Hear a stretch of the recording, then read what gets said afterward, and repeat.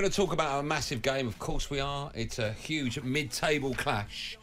Um, and uh, it's not just that, it's uh, other football to talk about as well. It's time now to look ahead to this weekend's Premier League action with Now Sports. Premier League Roundup on Talksport with a Now Sports membership. Stream the Premier League, EFL, WSL, and Scottish Premiership live for just £25 a month for six months without a contract. Offer ends 22nd of January. Search Now Sports, 18 plus, stream via internet, terms apply.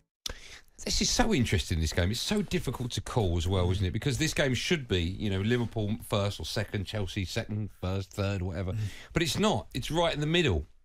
So I don't really know who I fancy in this one. Um, Well, the last four games have been draws. I know Liverpool won the last two on the penalty shootout, Mm. but the last four games before that have been draws: one-one and and two-two. Um, I was looking at some of the stats as well. Liverpool conceded 25 goals so far this season. That's one less than the whole of last season as well. No Virgil van Dijk. He won't be playing. No Diaz, no Jota. Firmino's out as well. Um, Nunez should be fit. What um, what do you make of where Liverpool are at the moment? Are they in the position they're in because of the injuries they've had? Virgil van Dijk missing is huge. Yeah, I mean they've got they've got so many injuries. Liverpool, as you said, they're Van Dijk, Firmino. Uh, I think they're talking about Jota. You have got Luis Diaz, um, who's out as well. So they- they've been hit with horrendous injuries. Liverpool and and but Chelsea have been decimated, absolutely dead. Because you look at their injury, injury, injury so again, Wow, why can't you say injury? don't know. You look at Chelsea's injury list, Oh, uh, yeah, I'd love to. and you start looking at people. Like, even uh, uh, Zakaria, who's done well, good player. Sterling, Pulisic, Mendy. I don't think you'll play. Kante, Joao Felix with the red card. Reece James, Chilwell, Fofana, Bro- Brozier. I mean that, that list is. do you know what I mean? That So nuts, yeah.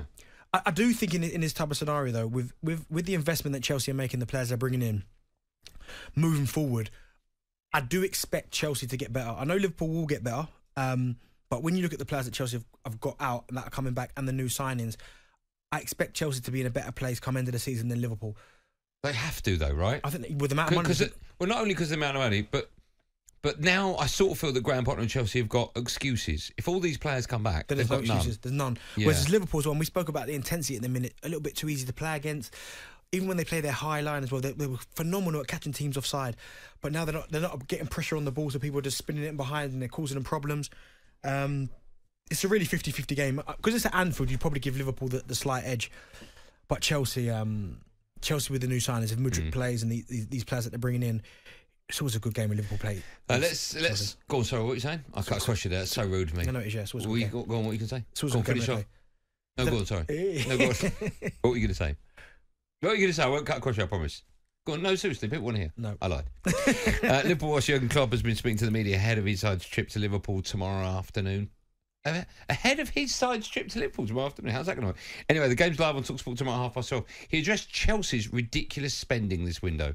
if the numbers are somehow true, then it's impressive. But I can't see investment stopping in the in the future. I believe in coaching. I believe in, in developing. I believe in, in team building and using and all these kind of things. One hundred percent. Meanwhile, the world out there, the, the, the managers are really really good. I can't all all of them. So if they now start like really properly spending and do that, then you cannot not spend or you will have a, a, a little bit of problem. But I don't think Chelsea, for example, can do that now for the next 10 years. In that it's not worrying that um, other teams can spend. It's probably a matter of fact, and um, yeah, and we have to react to that as well, but not just that. He must be so frustrated when Oh, he sees you how much Chelsea have spent. that Ne- li- nearly half a billion. That since- line was exactly what was about to come out of my mouth. When you, I know you probably say no, it's not about that. And Liverpool, to be fair, over the last few years have done it a little bit differently to Chelsea, but.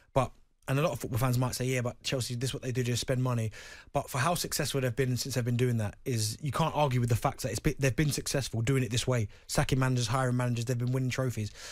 But for, from Jurgen Klopp's perspective, he must just be thinking, "I- I'd love a fraction of that, just to go out and just spend and bring in who I want. But the problem that he's got is the club predominantly don't spend copious amounts of money No, anyway. don't. And now they're up for sale. They're, I mean, they're even less likely to spend any money. But that's why the job that he's done with the recruitment that he's done, uh, like Jurgen Klopp's job that he's done is phenomenal, absolutely phenomenal. But as you said, and, that's what I meant going forward when all their players are back, Chelsea's and, and Liverpool's, just because of the investment and the signings that they've made, I expect come end of the season Chelsea to be in a better position Mm. than Liverpool.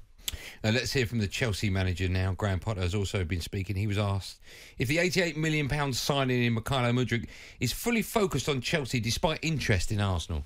He's come in and he's trained very, very well, and he's very happy to be here. So, uh, all the other stuff I have no comment on. Um, I think you've just got to help him, um, help him understand, and help everybody understand that he's coming from a different country, different league, So we have he has to adapt, like I said, to us, to the to the competition. He's a young player that's um, got a lot of potential, a lot of upside, and at the same time, he's had some really good experiences already. So exciting player.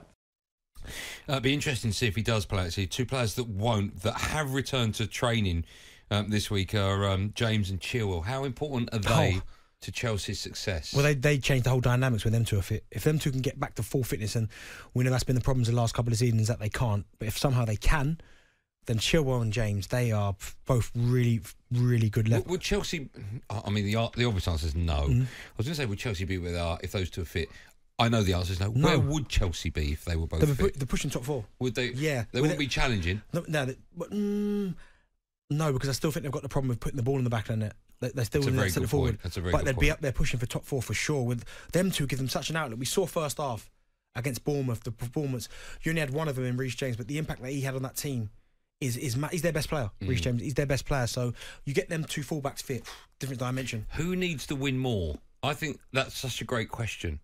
Because of course Liverpool ninth and Chelsea tenth, but I just I just personally feel there's so much more pressure you on know Graham what? Potter at the moment. That was what I was about to say. I think if you look at the two managers, Jurgen Klopp's got He's got it in the bank. more. Listen, he's, he owns the bank. Yeah. So he's, he's got no problems The bank of Klopp. Yeah, the, he's got. He You are the bank. right, yeah. So he, he's fine.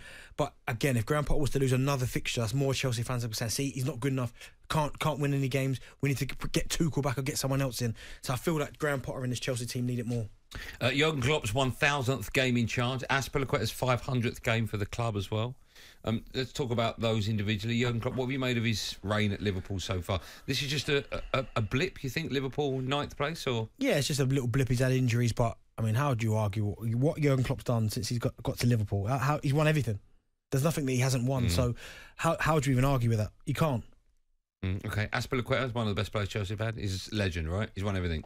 absolute legend. Again, won a lot. Uh, Champions League, Europa League.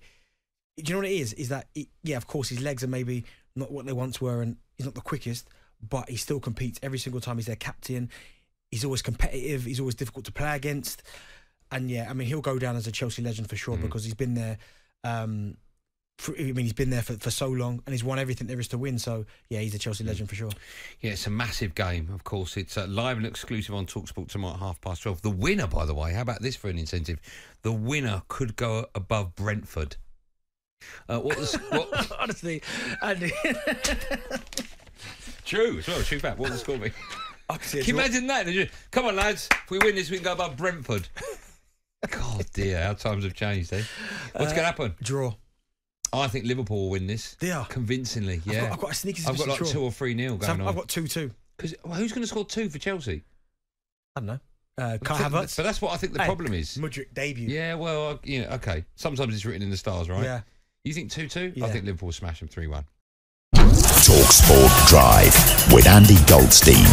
Monday to Friday afternoon from 4 on AM, on DAB, via the Talk Sport app and on your smart speaker.